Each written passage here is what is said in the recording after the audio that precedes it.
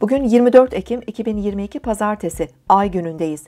Terazi burcunda ilerleyen ay kapanan fazla. Yarın doğacak yeni ay öncesinde geçtiğimiz ayın konularını gözden geçirip tamamlayabiliriz. İlişkiler, işbirlikleri, adalet, diplomasi, sanat ve estetik kavramlara ilgimiz artabilir. Öğle saatlerinde ay, Kova burcundaki Satürn'e uyumlu görünümde olacak. Sosyal ve özel ilişkiler daha rahat ilerlerken arkadaşlık ilişkilerinden de keyif alabilir, bazı ekip faaliyetleri ve organizasyonlara dahil olabiliriz. Bilim, teknoloji, iş, eğitim, ticari aktiviteler ve görüşmeler de verimli ilerleyebilir.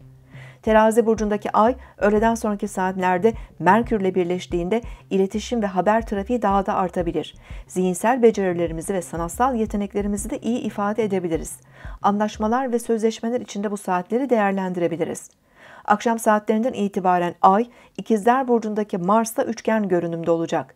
Zihinsel ve fiziksel enerjimizin yüksek olacağı akşam saatleri özel ve sosyal ilişkilerde de başarı verebilir. Entelektüel yanımız güçlenirken yazılı ve sözlü her türlü iletişim alanında aktif olabiliriz.